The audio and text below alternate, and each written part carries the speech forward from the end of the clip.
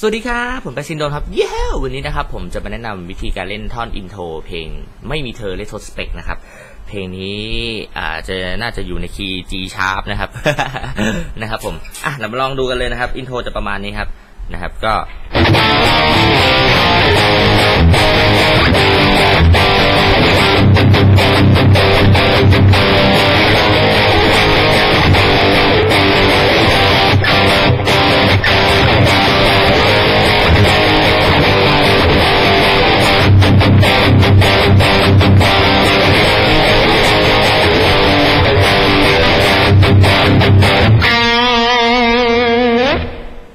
อะประมาณนี้นะครับ ตอนแรกเล่นเป็นตือตือตือตือตือ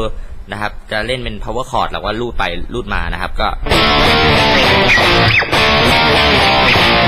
ตอนแรกเล่นเป็นคอร์ดนะครับ อ่า ก็คือ D D sharp D แล้วก็ C แล้วก็ B flat นะครับ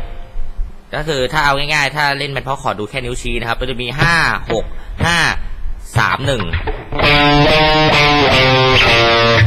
ห้าหกห้าสามหนึ่ง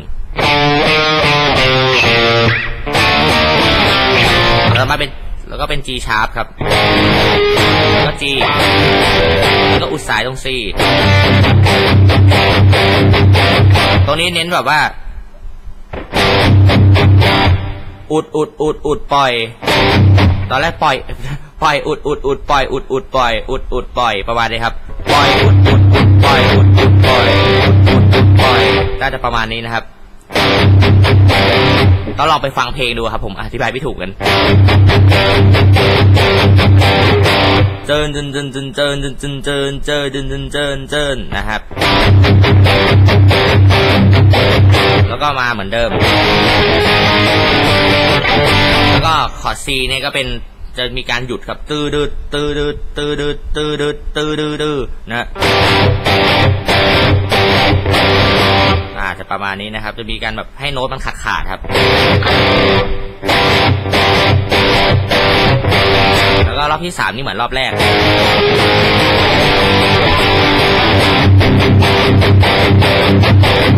แล้วก็มาเหมือนเดิม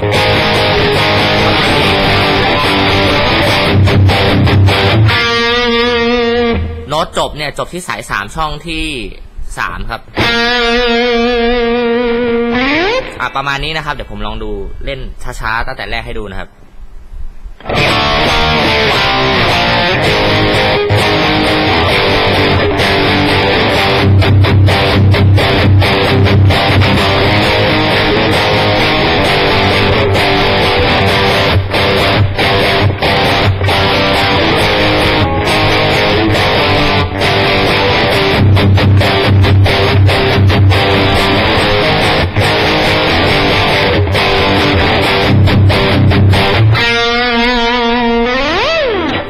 นี้นะครับพบกันในคลิปหน้าครับ สวัสดีครับ เย้